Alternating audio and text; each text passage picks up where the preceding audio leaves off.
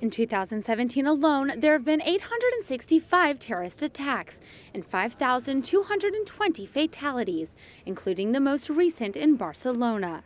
The Vatican's former diplomatic representative to the UN explains what he believes is the cause of this violence, found rooted in individualism and the lack of dignity for others. Why is it that young people, in particular in Europe or in some other parts of the world, turn to options of violence? In their probably emptiness of heart, they look for exciting motivations that can give a deep uh, existential meaning to their life. The Archbishop said this meaning can be found in serving others, including and listening to those from every background. He said while achieving this requires patience, the reoccurring global violence is only a sign of underlying problems in society. I think that violence is the red light of alarm that something is fundamentally wrong in the way society and the public culture are developed and developing.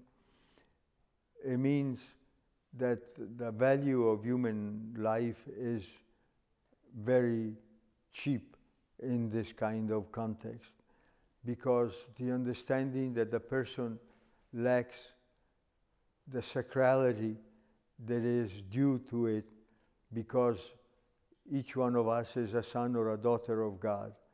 And as such, we have equal dignity.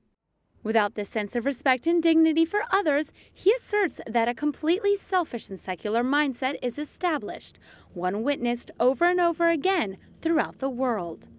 Confronted with this kind of situation, some other people prefer to use the shortcut of violence to achieve their own objectives. And uh, this find a correspondence in the lack of formation, the lack of a sense of responsibility to others, and of solidarity with everybody. It's not the common good that prevails, but a sense of extreme individualism.